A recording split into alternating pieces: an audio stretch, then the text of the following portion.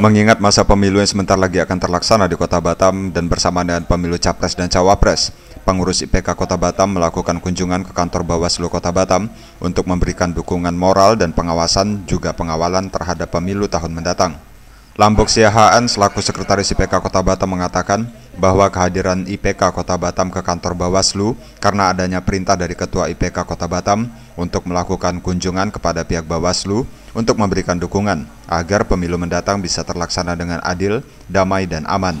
Ya, pada intinya kita dari pengurus jajaran Ikatan Pemuda Karya Kota Batam sesuai instruksi dan anjuran dari Ketua Kota Batam kita datang kunjungan ke Bawaslu ini perihal untuk mendukung di kepada Bawaslu untuk melaksanakan pemilu adil, damai dan transparan. Tidak ada intervensi dari pihak mana pun.